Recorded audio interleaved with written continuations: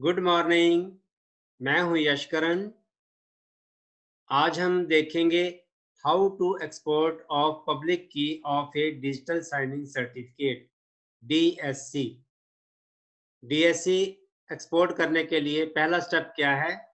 सबसे पहले हम अपनी डीएससी की डिजिटल सिग्नेचर की जो हमें, हमने बनवाई है सर्टिफाइंग अथॉरिटी से, उसको अपने कंप्यूटर से या अपने लैपटॉप की जो पोर्ट है उसमें लगा देना है। तो डीएससी एक्सपोर्ट करने के लिए हमारे पास दो तरीके हैं। तो इसको मैं प्रैक्टिकली करके दिखाऊँगा दोनों तरीकों से कि कैसे हम डीएससी को एक्सपोर्ट कर सकते हैं। पहला तरीका कौन सा है? तो आइए हम प्रैक्टिकली देखते हैं। पहला तरीका है इंटरनेट एक्सप्लोरर से। इंटरनेट एक्सप्लोर एक्सप्लोरर को जैसे ही क्लिक करते हैं तो राइट हैंड साइड पे जो टॉप पे मीनू बार है, उसमें टूल्स है।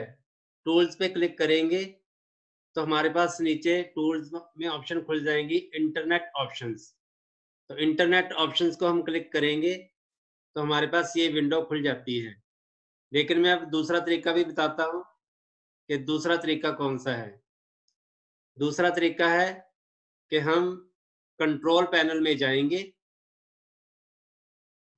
कंट्रोल पैनल में जाने के बाद हम देखते हैं कि यहाँ पर भी इंटरनेट ऑप्शंस मौजूद हैं। तो ये हमने इंटरनेट ऑप्शन पे क्लिक किया। क्लिक करने के बाद ऊपर वाली रो में जो टैब बने हुए हैं, उसमें से हमने कंटेंट को सिलेक्ट करना है। कंटेंट को सिलेक्ट करने के बाद नीचे सर्टिफिकेट्स सर्टिफिकेट को क्लिक किया।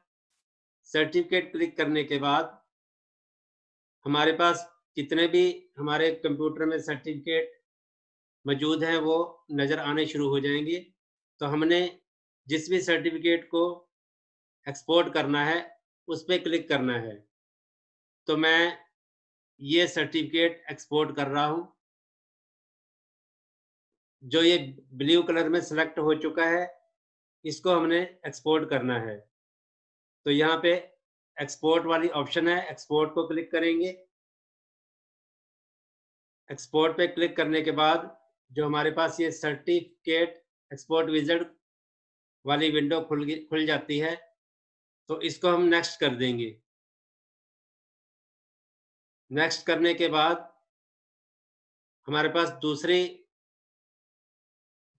दूसरा पेज खुल गया है एक्सपोर्ट प्राइवेट की हमने प्राइवेट की को एक्सपोर्ट नहीं करना है, क्योंकि प्राइवेट की को एक्सपोर्ट करने के लिए हमें पासवर्ड डालना पड़ेगा। तो इसको हम नेक्स्ट कर देते हैं।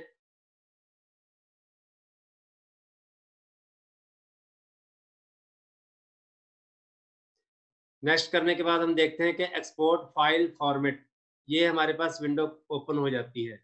इसको भी हम नेक्स्ट करेंगे। अभी जो फ़ाइल हमने एक्सपोर्ट करनी है, उसका नाम हमने लिखना है। मैं यहाँ पे नाम दे देता हूँ। इसको ब्राउज करते हैं। ब्राउज करने के बाद हम ऊपर देखते हैं दिस पीसी डेस्कटॉप तो आगे ये, इसका मतलब ये है कि ये डेस्कटॉप पे हमारी फ़ाइल सेव हो जाएगी। तो यहाँ पे हमने फ़ाइल का नाम दे दिया फ़ाइल का नाम देने के बाद हम सेव करते हैं और नेक्स्ट करते हैं। नेक्स्ट करने के बाद फिर हम यहाँ ऊपर देखते हैं completing the certificate export wizard यानी कि जो हमारा सर्टिफिकेट एक्सपोर्ट विजर्ड है वो कंप्लीट हो चुका है। तो इसको हम फिनिश कर देते हैं। फिनिश करने के बाद हमारे पास ये पॉपअप मैसेज आया है। इसमें लिखा है the export was successful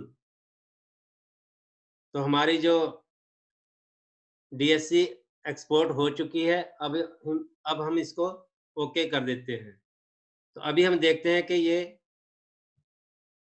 desktop पे अवेलेबल है या नहीं।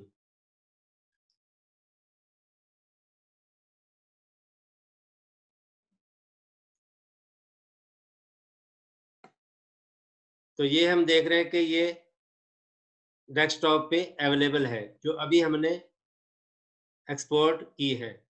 तो ये सर्टिफिकेट हमारा एक्सपोर्ट हो चुका है। इसको हम क्लिक करते हैं और इंस्टॉल सर्टिफिकेट पे क्लिक करेंगे और नेक्स्ट करेंगे, फिर नेक्स्ट करेंगे और उसके बाद फिनिश करेंगे। और ओके करेंगे तो हमारा जो सर्टिफिकेट है द इम्पोर्ट वाज सक्सेसफुल तो हमारा जो सर्टिफिकेट है, वो सक्सेसफुली इम्पोर्ट हो चुका है। इसको हम ओके कर देंगे और क्लोज कर देंगे।